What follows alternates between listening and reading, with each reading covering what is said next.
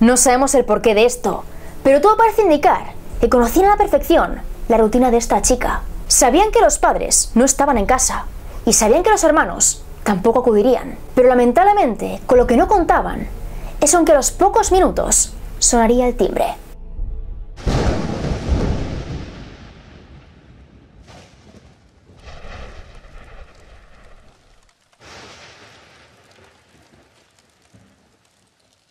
Muy buenas a todos y bienvenidos un día más a mi aterradora biblioteca. Por si no me conoces me presento, me llamo Netflix Flisher y cada semana, si todo va bien, traigo a este canal los misterios más impactantes de la historia. En el día presente os traigo uno de los más impactantes de la historia de México, y este es el de Miriam Rodríguez, una madre que hizo todo lo posible por vengarse de los asesinos de su hija. Miriam es una de tantos justicieros y justicieras que ha habido a lo largo de la historia. ¿Pero qué es exactamente un justiciero? Según el diccionario, es una persona que respeta y hace respetar la justicia con severidad y rigor. Personas que no tienen miedo de dar un paso al frente y luchar por las injusticias. Anteriormente en este canal ya hemos hablado de personas que se pusieron en pie y lucharon de forma pacífica.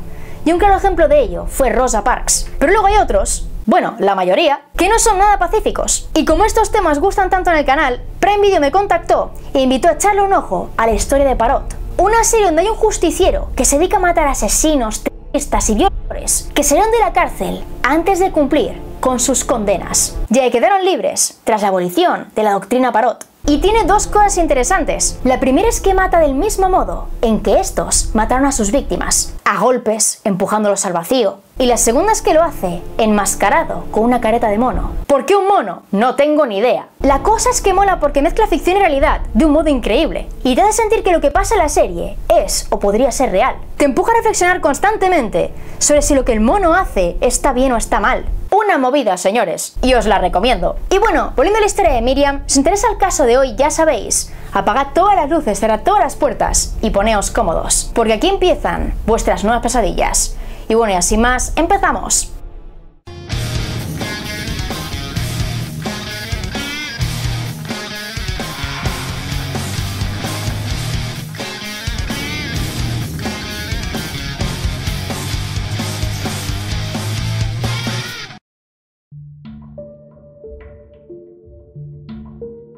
Este caso da comienzo a principios de 2014, concretamente en el municipio de San Fernando, Tamaulipas. Aquella época, según Azam Ahmed, redactor del New York Times, era muy sombría. Los Zetas llevaban años sumergidos en una terrible batalla contra el cártel del Golfo, y esta disputa tiñó las calles de sangre. Muchos restaurantes tuvieron que cerrar por miedo a los tiroteos, y muchas personas inocentes fueron secuestradas para cumplir con tres misiones. La primera era obtener rescates con los secuestros. El dinero que recaudaban era para financiar esta guerra. La segunda era para reclutar a más miembros para esta lucha. Y la tercera era meramente por diversión, por el placer de hacer daño a los demás. Muchas personas, como por ejemplo Luis Salinas Rodríguez, se ven obligadas a hacer las maletas e irse a otros lugares, como por ejemplo Ciudad Victoria. Lamentablemente otros no podían hacerlo, y entre ellos estaba su hermana pequeña, Karen Alejandra Salina Rodríguez. Karen por aquel entonces tenía 16 años y estaba acabando sus estudios. Hasta que no lo hiciera, no quería irse de la ciudad y además quería echar un cable a su madre, quien tenía varios empleos. Uno de ellos era como niñera en Texas. Iban tres semanas y el resto del tiempo trabajaba el negocio familiar, una pequeña tiendecita llamada Rodeo Boots. La vida en general le iba bastante bien, pero el 23 de enero de 2014 llegó la tragedia. Karen subió al coche de la familia y se dirigió a la carretera. Salió de su calle, se metió en la carretera, pero pronto se dio cuenta de que algo muy extraño estaba pasando. Dos camionetas se pararon a cada lado del coche y en cero coma le impidieron el paso. En una milésima de segundo, varios hombres bajaron de los vehículos y armados hasta los dientes, la obligaron a abrir las puertas. La chica tenía tantísimo miedo que lo hizo sin más, y estos hombres procedieron a secuestrarla. Aquí llega un punto muy interesante, y es que los secuestradores no la llevan a cualquier sitio, sino a su casa. Suben a su coche, van hasta su casa, y una vez allí, la atan a una silla y esperan. No sabemos el porqué de esto, pero todo parece indicar que conocían a la perfección la rutina de esta chica. Sabían que los padres no estaban en casa, y sabían que los hermanos tampoco acudirían. Pero lamentablemente, con lo que no contaban, es aunque a los pocos minutos sonaría el timbre. Resulta que ese día, el mecánico de la familia tenía que mirar el coche, tenía que revisar algo, repararlo, y los secuestradores no tenían ni idea. Así que al verlo se pusieron nerviosos y lo secuestraron también. Las semanas posteriores al secuestro, los criminales se pusieron en contacto con la familia de Karen y evidentemente pidieron un rescate. El mecánico no les interesaba, por lo que a los pocos días lo dejaron libre y se centraron en lo que realmente querían. Llamaron a la familia de la chica y prometieron liberarla a cambio de una gran suma de dinero. Y ellos, muy nerviosos, fueron al banco y pidieron un préstamo. El día del pago todo sería muy rápido. Dejarían dinero efectivo en un punto en concreto y después irían a otro y recogerían a Karen. Pero tras dejar el dinero y buscar a Karen, no la encontraron. Los secuestradores no cumplieron su parte del trato. En este punto ocurre otra cosa muy llamativa, y es que a los pocos días, Miriam, madre de Karen, y Azalea, su hermana mayor, van a comer a un restaurante de carne asada. Están muy nerviosas, muy alteradas, y nada más entrar, ven a una chica que conocen perfectamente, Elvia Yuritza Betancourt. A esta muchacha la conocían desde siempre, desde que era una niña. Confiaban en ella, le tenían bastante estima, y por ese motivo la saludaron y le preguntaron por Karen. Si sabe algo del tema, si la ha visto, si tiene pistas. Pero Elvia dice que no sabe nada, que no sabe siquiera que ha sido secuestrada. Y quedaos con esto, porque más adelante volverá a salir. El tiempo pasa y no tiene noticias de Karen. No la han liberado, no han llamado otra vez. Con lo cual, Miriam Elizabeth Rodríguez Martínez, madre de Karen, da un paso al frente. Y pagó el rescate, no llamó a la policía. Lo hizo todo bien. Y aún así, no sabía nada de Karen. Con lo cual se llenó de valor y pidió una reunión con uno de los miembros del cártel de los Zetas. Por ello la citaron en un restaurante llamado El Junior. Ella llegó sola, se sentó en una mesa, y al poco tiempo entra un muchacho alto y delgado que se sienta frente a ella. La mujer memorizó todos los detalles, sus cejas, sus labios, su ropa, su cabello, y especialmente se fijó en que este chico portaba un walkie-talkie que no paraba de sonar. Pitaba, sonaban voces, se distorsionaba, volvía a pitar. Todo el rato estaba sonando. Y ella, por supuesto, lo memorizaba todo. Hablaron durante un rato y el chico le dijo que no sabía nada de Karen, que los Zetas no tienen nada que ver con esto. Pero eso sí, si quiere que investigase en el tema, tiene que pagarle en ese momento 2.000 dólares. Aquello era una completa locura, pero aún así Miriam accedió. Siguieron hablando, el chico le dio su número, y de la nada sonó el walkie-talkie, y la voz que había al otro lado le llamó por su nombre, Sama. Los días pasan y Miriam no tiene noticias de Sama. Le escribe por teléfono, le llama y este muchacho no le hace ni caso. Se los secuestradores, vuelven a llamar y en esta ocasión piden 500 dólares más. 500 dólares para ver a Karen. Esto ya parecía una broma de mal gusto. Pagó una vez, otra, otra. Y por más que hiciera, su hija no volvía a casa. Las semanas se convirtieron en meses y las tensiones de la familia fueron tales que Miriam se divorció de su marido. Totalmente desesperada, hizo las maletas y se fue a casa de su hija mayor, Azalea. Y una vez allí, tomó una decisión. Y es que no descansaría hasta que todas las personas implicadas en el secuestro de Karen fueran castigadas. No importa si me matan. Me morí el día que mataron a mi hija. Yo quiero terminar esto. Me voy a llevar a la gente que le hizo daño a mi hija. Y ellos me pueden hacer lo que quieran.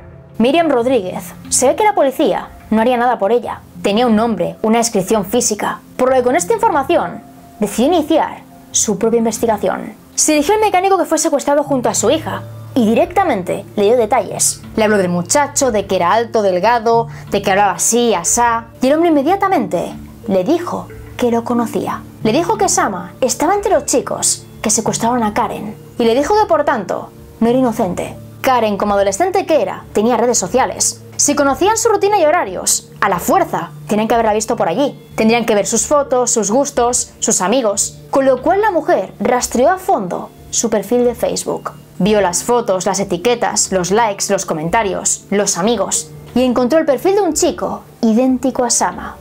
Un chico que además se llamaba como él. Indagó en su perfil y vio que el muchacho tenía novia. Tenía fotos con ella, se les veía muy bien. Y descubrió que la muchacha trabajaba en una heladería ubicada en Ciudad Victoria. En este punto tenía dos opciones. La primera era llamar a la policía, llamarles, dar la información, pasar todos los datos y esperar a que hicieran algo. Y la segunda opción era investigar por sí misma. Había cientos de desaparecidos, cientos de personas buscando a sus seres queridos y la policía no hacía nada al respecto. Por ello la mujer subió a su coche y se fue directamente a Ciudad Victoria. Una vez allí, hizo guardia las 24 horas en la puerta de la heladería y se aprendió punto por punto los horarios de la novia de Sama. Cuando entraba, cuando salía, con quién se veía y esperó que el muchacho apareciera para recogerla. Cuando esto ocurrió, la mujer salió del coche, lo siguió hasta casa y se apuntó a la dirección. Y a partir de aquí pasó a la segunda fase de su plan. Se cortó el pelo, se tiñó de rojo y decidió convertirse en encuestadora.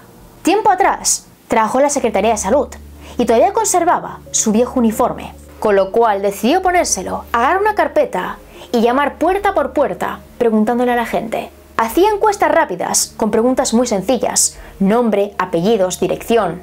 Eran preguntas muy básicas, muy sencillas, y gracias a estas consiguió información sobre Sama. Con estos datos, va a comisaría y denuncia. Pero ¿qué pasa? Que nadie quería ayudarla. Por increíble que parezca, nadie quería hacer nada. Pero esta señora no se rindió. Siguió insistiendo hasta que consiguió que un policía federal sintiera empatía y le ayudase. Juntos hicieron presión al gobierno, pero cuando por fin consiguieron una orden de arresto, Sama se escapó. Esta mujer no se rendiría tan fácilmente, por lo que se esforzó más para conseguir información. Es así como logra localizar a muchísimos más miembros del grupo que secuestró a su hija. Y lo hizo del mismo modo en que localizó a Sama. Pero lo que no sabía es que un día, de pura casualidad, este muchacho volvería a cruzarse en su camino. Tal y como os conté al principio de la historia, Luis, el hijo mayor de Miriam, se fue de San Fernando y según New York Times, se mudó a Ciudad Victoria, donde montó su propio negocio. El 15 de septiembre de 2014, mientras cerraba la tienda, vio que había un muchacho mirando el escaparate. Era un chico alto, delgado, y sus facciones le resultaban muy familiares. Así que agarró el teléfono y llamó a su madre. Le escribió punto por punto cómo era este chico, y Miriam lo reconoció de inmediato. Ese muchacho era Sama, con lo cual le pidió a su hijo que llamase a la policía. Luis lo hizo, y para no perderle de vista, se dedicó a seguirle. Le siguió por las calles, por las esquinas, y finalmente, Sama fue detenido. Una vez en comisaría, el muchacho dio otros nombres, y entre ellos estaba Cristian José Zapata González, de 18 años. Cristian fue inmediatamente detenido e interrogado, y bajo presión, dijo el lugar exacto en el que el grupo de secuestradores llevaban a sus víctimas, las mataban y las enterraban. Estoy dispuesto a llevarlos al rancho, donde los mataron y donde deberían estar enterrados todavía sus cuerpos. Era un rancho abandonado, sucio y descuidado, y en él se encontraban muchos elementos llamativos, evidencias de un tiroteo, una fosa con restos óseos, una soga colgando de un árbol y pertenencias de muchísimas personas. Pertenencias entre las cuales se encontraba el cojín del asiento del coche de Miriam y la bufanda que Karen llevaba el día en que desapareció. Según los forenses, en primera instancia, en aquella fosa común no estaban los restos de Karen, pero Miriam estaba convencida de lo contrario. Y finalmente, al año siguiente, sus sospechas fueron confirmadas. Y es que allí encontraron un fragmento de fémur perteneciente a Karen. De vuelta a casa, después de recorrer palmo a palmo todo el rancho abandonado, Miriam decidió parar a reponer fuerzas en un restaurante de carne asada, el mismo en el que comió con su hija Zalea días después de la desaparición de Karen. Entró allí, pidió comida y al instante se encendió la bombilla. Había dos elementos que le llamaban muchísimo la atención. En primer lugar, este restaurante estaba muy cerca del rancho abandonado. De hecho, estaba nada y menos de la entrada de tierra que conducía hasta él. Y en segundo lugar, echando la vista atrás, recordó que todo San Fernando sabía que Karen había sido secuestrada. Toda la familia, los vecinos, los amigos, los conocidos, todo el mundo lo sabía. Pero cuando tiempo atrás comió en ese restaurante, había una persona que no tenía ni idea, y esta era Elvia Yulitza Betancourt. ¿Y si esta mujer vigilaba el rancho? ¿Y si sabía que Karen estaba dentro? Elvia, como os dije anteriormente, era amiga de la familia. La conocían desde que era muy pequeña. Y si estaba implicada, Miriam no tendría piedad. En cuanto llegó a casa, Miriam buscó información y descubrió que Elvia estaba saliendo con uno de los secuestradores de su hija Karen. Un secuestrador que ella misma envió a prisión. Así que la mujer se puso manos a la obra y creó un nuevo plan. Vigilaría la entrada de la prisión en la que estaba el secuestrador día y noche para ver si en algún momento aparecía Elvia. Y cuando lo hizo, avisó a la policía y la detuvieron. Fue entonces cuando se descubrió que algunas de las llamadas que hicieron los secuestradores se hicieron desde su casa, desde la casa de aquella muchacha en la que todos confiaban. Muchos pensaréis que en este punto la mujer debió rendirse. Había atrapado a mucha gente, había descubierto nombres, direcciones, había hecho mucho por este caso, pero dentro de su corazón sentía que no había acabado. Muchas de las personas implicadas o bien habían muerto o estaban en prisión o intentaban rehacer sus vidas. Y esto último no se podía permitir. Una de las personas que quería empezar de cero era un chico llamado Enrique Joel Rubio Flores, el cual supuestamente se ve convertido en un cristiano renacido. Indagando en su historia familiar, Miriam llegó al pueblo en el que vivía su abuela, Aldama. Quedó con la mujer, habló con ella y se enteró de la iglesia a la que iba. Lo esperó allí y cuando lo vio entrar, llamó a la policía. Otra persona que pretendía hacer su vida fue una muchacha que estaba trabajando como niñera en Ciudad Victoria. Y una vez más, Miriam la siguió, la vigiló y en abril de 2017 corrió tras ella para evitar que escapase. Por suerte la muchacha acabó siendo detenida, pero Miriam en mitad de la persecución se fracturó un tobillo y tuvo que llevar muletas durante bastante tiempo. El 22 de marzo de 2017, un mes antes del accidente de Miriam, casi dos docenas de presos se escaparon de la cárcel de Ciudad Victoria. Entre todos ellos, había varios de los implicados en la muerte de Karen, hombres que la mujer había encarcelado y que probablemente buscarían venganza. Miriam Rodríguez habló con la policía y pidió protección, pero lamentablemente no hicieron mucho. Pusieron un par de patrullas en torno a su casa y a su trabajo, pero aparte de eso no hicieron nada más, con lo cual muchas personas le pidieron a la mujer que se rindiera. Pero ella no lo hizo. Iba a seguir adelante. Y no le importaba que esta decisión le costase la vida. El 10 de mayo, a las 10 y 21 minutos de la noche, una camioneta Nissan de color blanco empezó a seguir a Miriam cuando ésta salió del trabajo y se dirigió a casa. De acuerdo con la fiscalía, dentro del vehículo había cuatro varones: Alfredo Misael N., Edwin Allen N., Eric Leonel N. y Juan Manuel Alvarado. Dos de los cuatro sujetos eran reos fugados de prisión, reos que tenían la misión de acabar con ella. La mujer llegó a su casa sobre las 10 y 36 minutos. Bajó del coche, caminó hacia la puerta y cuando estaba a punto de llegar, uno de los hombres bajó del vehículo y disparó 12 veces en su dirección. A continuación, regresó al vehículo y los cuatro hombres huyeron de la escena. Cuando la ambulancia llegó, poco pudieron hacer por ella, y esta falleció a causa de las heridas en el hospital. La muerte del activista causó un gran impacto en la sociedad y exigieron que se hiciera justicia. Organizaciones internacionales por derechos humanos exigieron al gobierno mexicano que hiciera algo al respecto. Y gracias a la presión, la policía se movilizó para detener a los culpables lo antes posible. El 14 de mayo, cuatro días después del crimen, agentes estatales detuvieron a Alfredo Misael N., quien según la matrícula era el dueño del coche que siguió a Miriam. Le detuvieron, le interrogaron y el hombre declaró lo siguiente. Por un lado dijo que fue contratado para ayudar a los presos fugados de Ciudad Victoria a matar a Miriam. Y por otro lado, no dio los nombres reales de los implicados, pero sí sus apodos. El Diablo, el Aluche y el Flaco. Sin tener los nombres, la policía no podía hacer mucho, pero aún así tuvieron mucha suerte.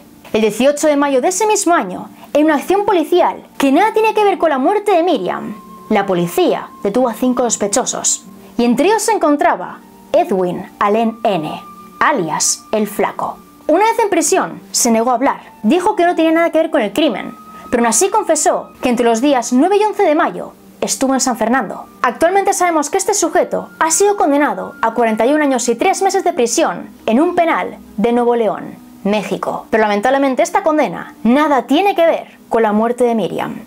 El 14 de octubre de 2017, policías estatales y agentes judiciales abatieron en un tiroteo a Juan Manuel Alvarado. Y un año después, concretamente el 12 de octubre de 2018, fue capturado Eric Leonel N., alias El Diablo. Tanto este hombre como Alfredo Misael N. fueron condenados a 10 y 15 años de prisión. Por obvias razones, este caso a día de hoy se considera sin resolver. No sabemos a ciencia cierta quién organizó todo esto, quién mandó el secuestro de Karen, quién mandó la muerte de Miriam, pero lo que hoy sabemos es que en vida esta mujer ayudó a que decenas de familias se levantaran contra el sistema y reunieran fuerzas suficientes para luchar contra las injusticias y para encontrar a todas las personas desaparecidas que el gobierno no se dignaba buscar. Por ello, en mayo de 2017, el municipio de San Fernando erigió una placa de bronce en honor a esta mujer. Y su hijo Luis se hizo cargo del grupo que ella fundó, un colectivo formado por múltiples familias locales cuyos seres queridos han desaparecido. Así que ahora es tu turno. ¿Tú qué opinas del caso? ¿Y crees que algún día podrá resolverse? Y bueno chicos, hasta aquí el vídeo de hoy. Este caso me ha dejado mucho tiempo pensando, así que la pregunta de hoy es la siguiente. ¿Creéis que Miriam hizo bien o que tenía que haber parado. Y la palabra secreta es, es justicia. Deja justicia aquí abajito y en cuanto lo vean cuanto pueda, te daré like. Y bueno, ya para acabar, si queréis conocer una historia parecida a la de Miriam, os recomiendo muchísimo la serie que os dije antes, Parot, de Prime Video, que yo no te lo digo por decir que te va a gustar, hazme caso. Y dicho esto, ahora sí que sí, voy despidiéndome. Aquí abajo tenéis apartado de correos, enlace directo de conseguir estos libros, España Embrujada Expediente Flash Flisher y todas, pero todas mis redes tengo Facebook, Twitter e Instagram y Twitch, que también tengo Twitch, y por ahí notifico los cambios, las novedades y charlas más. Y ahora sí que sí, nos vemos en el próximo vídeo. ¡Chao!